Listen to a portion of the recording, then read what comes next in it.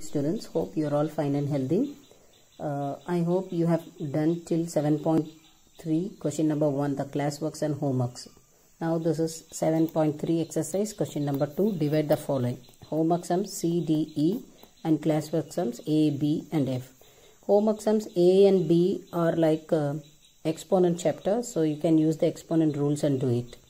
F sum by using the class work you can do. So first sum C is a class work 3x square x to the power 4 minus 12x square divided by 3x cube minus 6x square.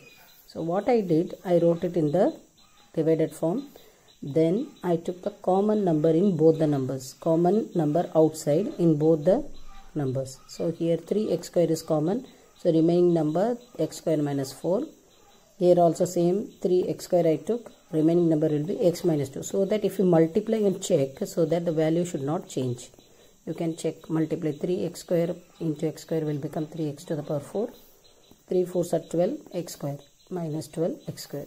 So I did the same. So this x square minus 4 can be written as x square minus 2 square that is a square minus b square the form. So what is the expansion of uh, x square a, a square minus b square a plus b into a minus b. That's what I have written. Here a means x b means 2 so I took the common number and I cut it. I have divided. So remaining number is the answer. This is the d sum 3x square minus 21x plus 30 divided by x square minus 25 so here you just see the HCF of three numbers. 3 minus 21 and 30 3 will be the HCF so I took the HCF outside remaining number I put inside. Then this can be written as a square minus b square. This is 5 square. That's why I wrote in this form. But this one you cannot divide directly. So find the factors of this.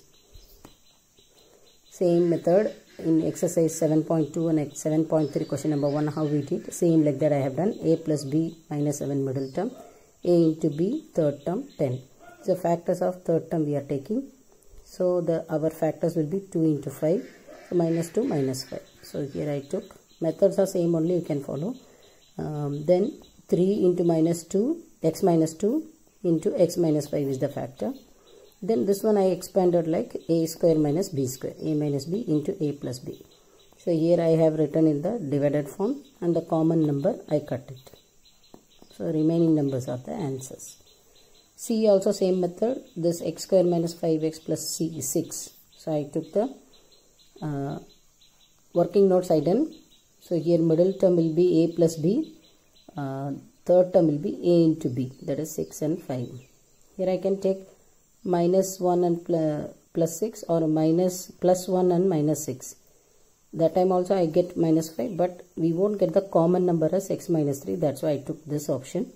So 2 3s are 6 minus 2 plus minus 3 will become minus 5. So same method I have done, cut the common numbers and I get the remaining number as the answer. Hope you understood. Please do the homeworks and classworks properly. Tomorrow I will send revision exercise. Thank you.